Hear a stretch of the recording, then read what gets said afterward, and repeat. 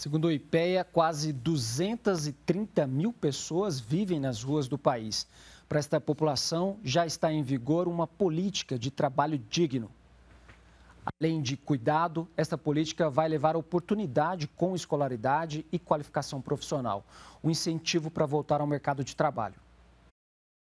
Morar na rua, passar fome, sede, frio e calor.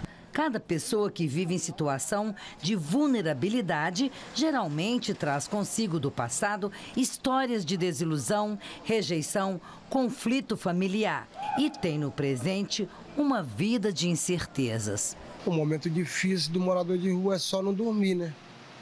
Na noite, não dormir, então a gente deita no canto, é meio complicado. Você está dormindo, você está morto. Então não sabe quem vem lhe fazer o mal, não sabe quem vem, entendeu? Então é meio complicado. Nos últimos 10 anos, segundo o levantamento do IPEA, o Instituto de Pesquisa Econômica Aplicada e do Cadastro Único do Governo Federal, a população em situação de rua no Brasil aumentou 935%. E para dar oportunidade a quem não tem nada, conseguir uma renda e ter condições de se sustentar, foi sancionada uma lei federal que institui a política de trabalho digno para a população em situação de rua.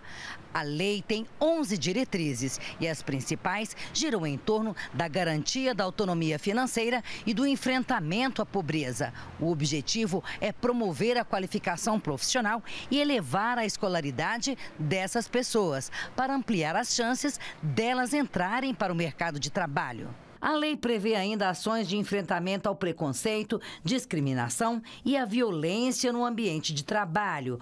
O governo também deverá instituir redes de centros de apoio ao trabalhador em situação de rua, com o objetivo de prestar atendimento às pessoas que buscam orientação profissional e emprego. Rogério, que foi ex-morador de rua e hoje faz parte de uma ONG, dá um suporte à população vulnerável e comemora a iniciativa do governo. Quando você consegue trabalhar o eixo da moradia, o eixo do trabalho, você precisa trabalhar o eixo da educação.